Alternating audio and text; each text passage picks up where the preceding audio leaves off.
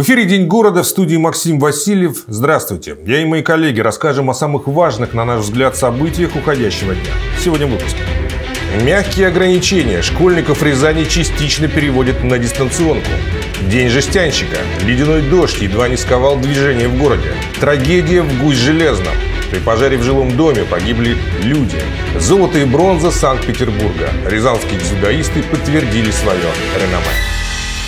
Школа Рязани частично переходит на дистанционное обучение. С 23 ноября по 6 декабря готовиться и отвечать удаленно начнут ученики 5-6 классов всех городских учебных заведений. С 7 по 20 декабря в интерактив уйдут с 7 по 10 классы. Об этом в специальном обращении к жителям области заявил губернатор Николай Любимов. Такая мера, по его словам, вынужденная, слишком велик рост заболевших, ограничения ведут и в других сегментах образовательной сферы.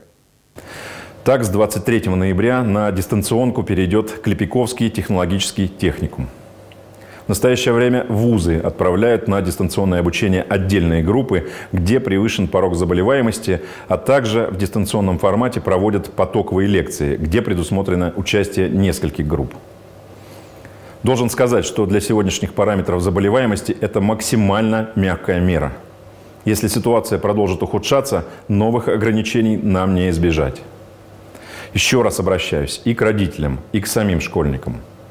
Дистанционное обучение – это не каникулы. Постарайтесь поберечь своих пожилых родственников. Не устраивайте сборищ, вечеринок, каких-то совместных мероприятий. Потерпите. Этот день, 19 ноября, все жители Рязани запомнят надолго. Ледяной дождь и минусовая температура превратили его, как говорят в народе, в день жестянщика.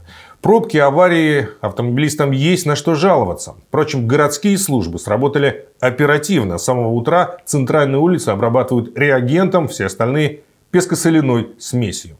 Подробнее Валерий Седов.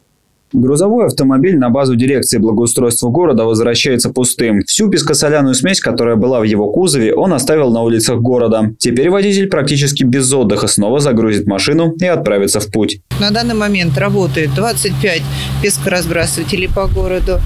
Пять тракторов, которые с прицепами посыпают тротуары. Также посыпка тротуаров и остановок общественного транспорта проходит в ручном режиме. Это нашими сотрудниками с грузовых автомобилей. А с непогодой рязанские водители столкнулись еще с утра. По данным интернет-ресурса Яндекс, пробки на дорогах города достигли 9 баллов. Водители ездят максимально осторожно. Очевидцы уже насчитали минимум 4 ДТП. По данным Рязанского центрального управления по гидрометеорологии и мониторингу окружающей среды, сегодня в Рязани в течение дня ожидаются дождь и мокрый снег. Городские службы пришли в режим повышенной готовности. В 5 часов утра из автопарка дирекции благоустройства города выехала первая машина с реагентом. Улицы обработаны все и уже не по одному разу раза на данный момент происходит третья засыпка дорог, потому что температура такая и дождь, э, что в любом случае схватывается. Поэтому техника работать будет до последнего срока, сколько это будет необходимо.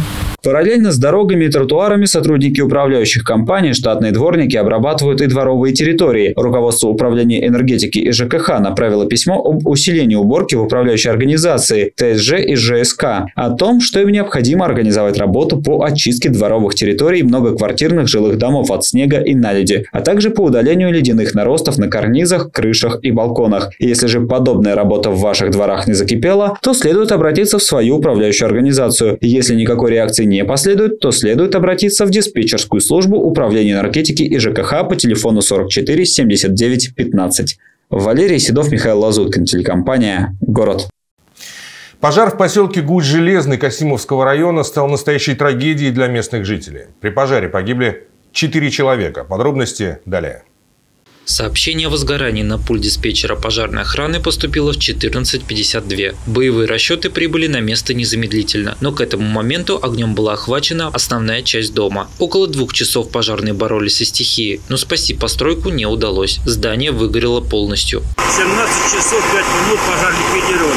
Тушению пожара привлекалось 7 единиц техники, 14 человек личного состава. К сожалению, на пожаре обнаружено тела четырех погибших. После информации о погибших на место происшествия выехал Касимовский межрайонный прокурор Владислав Моисеевичев. По факту пожара в поселке Гусь-Железный возбуждено уголовное дело по статье причинения смерти по неосторожности двум или более лицам. В настоящее время эксперты проводят осмотр места происшествия. Устанавливаются свидетели и очевидцы произошедшего. Также проводятся и другие мероприятия, направленные на установление причин и всех обстоятельств пожара и гибели людей.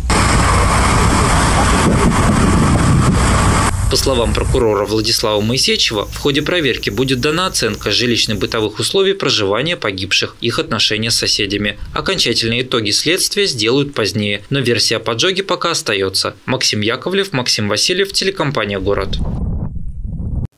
Московский межрайонный следственный отдел просит откликнуться женщину, ставшую свидетельницей инцидента на остановке Театральная площадь. 27 июля около 6 часов утра подвыпившие рязанцы вступили в конфликт с гостем из Таджикистана и не нашли ничего лучше, как выстрелить ему в голову из травматического пистолета ОСА. На этом фрагменте видео с камеры наблюдения самое начало конфликта.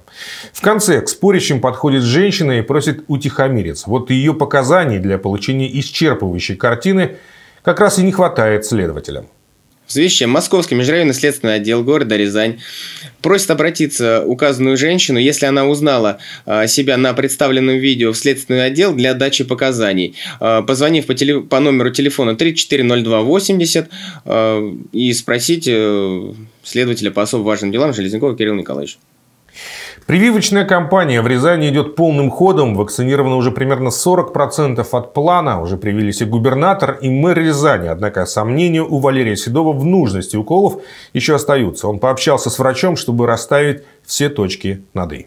В связи с пандемией коронавируса спрос на прививки вырос в пять раз. Такой положительной динамикой делится Валерий Демихов, директор Центра гематологии, онкологии и иммунологии. Выросший спрос – это, конечно, хорошо, но есть и те, кто до сих пор считает вакцину чем-то вредным, сетует профессор. Он добавил, что миф о вреде появился вместе с первыми препаратами. Тогда вакцины были несовершенными и противопоказаний к ним было больше. Э, на сегодняшний день практически у нас в арсенале живых вакцин нет. В основном все они убитые, инактивированные, расщепленные, более того. То есть, представляете, вакцина не содержит э, никаких вирусов, а представляет собой какие-то фрагменты, кусочки ДНК или РНК, что касается а, гриппа, которые ответственны за выработку вот этих специфических антител, которые возникают в организме человека, который получил а, прививку. Поэтому, ну что можно ожидать от вакцины, в которой нет вируса? Вакцины против гриппа различаются по двум критериям, говорит Валерий Демихов. Первое – это содержание штаммов гриппа. Есть трехвалентные, где таких штаммов три, и четырехвалентные. Вторым критерием является содержание антигенов. Например, есть вакцины, где содержится по 15 микрограмм каждого штамма. Все они соответствуют критериям ВОЗ. В арсенале Центра гематологии, онкологии и иммунологии есть три вакцины. Директор центра добавил, что прививка от гриппа поможет и при коронавирусе. Прививку от гриппа очень желательно делать, потому что она есть такое исследование, она повышает не специфический клеточный иммунитет, а клеточный иммунитет играет важную роль в защите от коронавирусной инфекции. Поэтому те, кто не привился от гриппа, настоятельно рекомендую это сделать. Количество тяжелых форм заболевания у привитых от гриппа при коронавирусной инфекции существенно меньше. Но у этой медали есть и обратная сторона, свои противопоказания, на которые стоит обратить внимание. Действительно, вакцина от гриппа противопоказана, например, пациентам, которые перенесли например, такое тяжелое заболевание, как синдром гиена Барре. Это аутоиммунное заболевание, тяжелое, с поражением нервной системы. Вот им прививку эту делать нельзя. С большими ограничениями мы говорим о людях, у которых аллергия к куриному белку. Ну и то в последние годы здесь подход меняется. Профессор добавил, что очень важно выяснить, в каких масштабах проявляется аллергия. Порой прививку можно сделать и под наблюдением врачей, например, в условиях стационара. Другое важное противопоказание – это наличие острых заболеваний или обострения хронических. Но все же самым важным критерием «за» или «против» остаются только убеждения самого человека. Валерий Седов, Михаил Лазуткин, телекомпания «Город».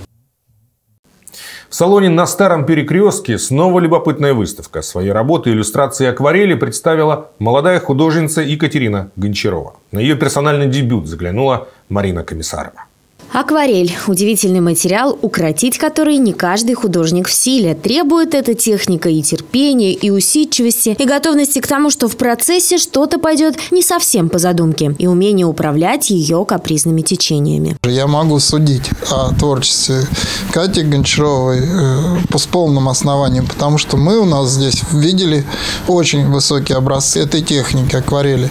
Конечно, она сложная, потому что она не прощает ошибок практически. Вот. Если ты ее начинаешь исправлять белилами, то это уже не акварель. Вводишь какую-то другую краску, это тоже уже не акварель. Поэтому чистая акварель, она очень сложна. Она первозданна, как снег. При этом Екатерина, окончив реставрационный факультет Харьковской академии дизайна и искусств, где ей пришлось на несколько лет полностью погрузиться в масляную живопись, по духу и призванию оказалась акварелистом. И сейчас в ее исполнении можно увидеть портреты, изображения животных, городские виды и пейзажи. Природа, она сама по себе самый лучший творец. И когда ты сливаешься с ней воедино, это определенное удовольствие. Самый большой, ну, не знаю, как заменить это слово кайф, это когда получается вот э, посредством акварели передать и свободу, как бегут облака по небу, как именно в данный момент времени что-то ты видишь, да, состояние, настроение.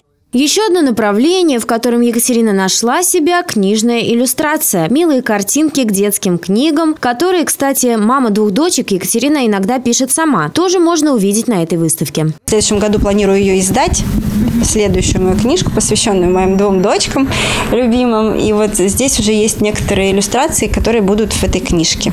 Вот, это будет детская сказка. О чувствах. Название выставки говорит о настроении, которое объединяет все работы. Акварели Екатерины Гончаровой наполнены эмоциями, которые невозможно не ощутить. И погружаясь в этот акварельный мир, вы непременно почувствуете тепло и умиротворение. Выставка будет работать до конца декабря. Марина Комиссарова, Михаил Лазут, Уткин, телекомпания «Город».